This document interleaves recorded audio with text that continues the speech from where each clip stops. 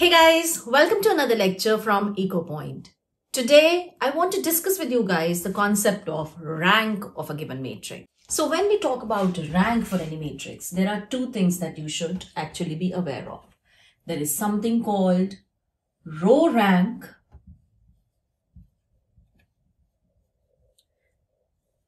and something called column rank.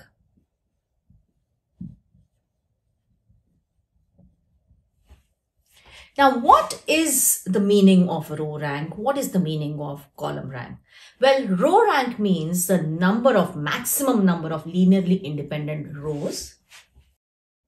On the other hand, column rank means the maximum number of linearly independent columns. Interestingly, the number which you will get for row rank will be the same as the number that you get for column rank. And this number is called rank for any given matrix.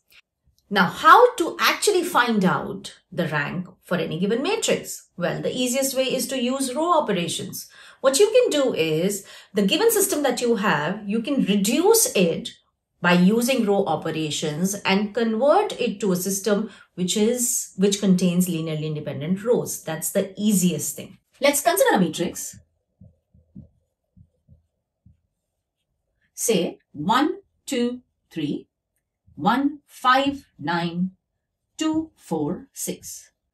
Now let's use row operations and reduce this. Reduce this as in just try to simplify it and whatever is the non-linear part in this matrix that will go away.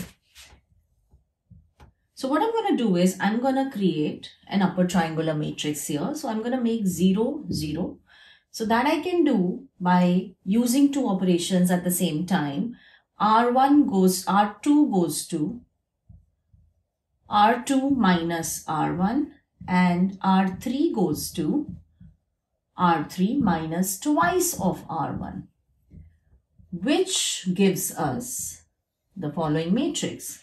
So 1, 2, 3 as it is. You'll get a 0 here, you'll get a 0 here. Now, what is happening is that you will get a 3 here, what will happen is that you will get a 6 here. Now, you are subtracting twice. So you're getting 0 here. You're getting 0 here because 4 minus 4 will give you 0 and 6 minus 6 will again give you 0. So what we have is just with using the row operations one time, this was a very simple case that I have. Now I have linearly independent rows with me.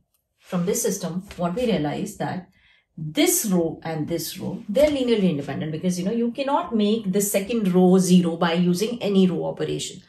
The row that you could make zero is now the bottommost out here.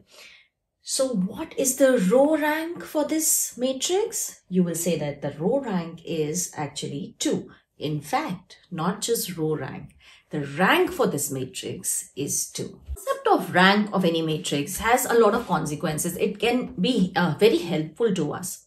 I would like to share one result with you guys out here. And that result pertains to solutions and rank. So when we are trying to solve a system of equations, we look into an augmented system, right? And you also have your coefficient matrix. So what we do is we compare the ranks of the two. Let's consider a system of equations where you have m equations in n variables. So if you have this kind of a system of equations, you, for example, can write down your system of equations in the augmented form A augmented B, right? Where A is the coefficient matrix, right?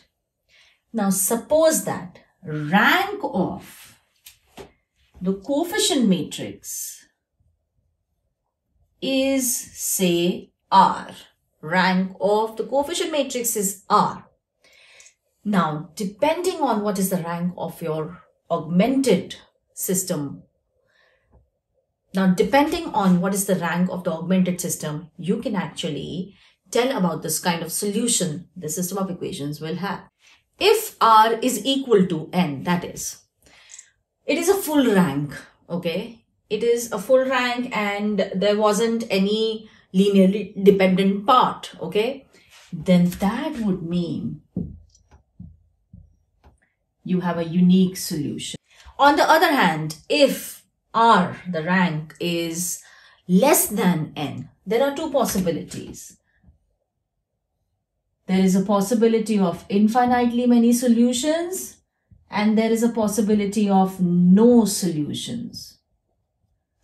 If the system is consistent, which I've already taught you what consistency means. If the system is consistent, then this will give you infinitely many solution. If the system is inconsistent, then you will get no solution, which is something that I'm going to further talk about in the next video. Thank you very much for watching.